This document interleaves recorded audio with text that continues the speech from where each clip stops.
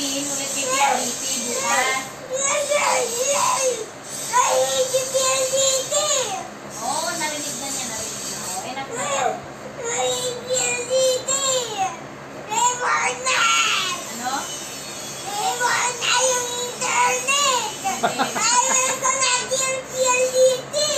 Oh, bakit bakit mo igigil yung PLDT? Kasi Halika, halika. wala Wala signal. signal. Oh, sasabihin mo kay PLDT? Magiging Ano, viral again? yan. Ano sasabihin mo? Post, post mo anak sa ano, kaya, sa YouTube. Sa kanyang ano, Ano na daw? sa kanyang account. Ano daw sasabihin mo kay P...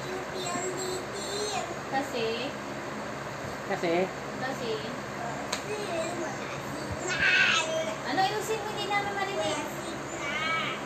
Wala nga signal. Ilang days na?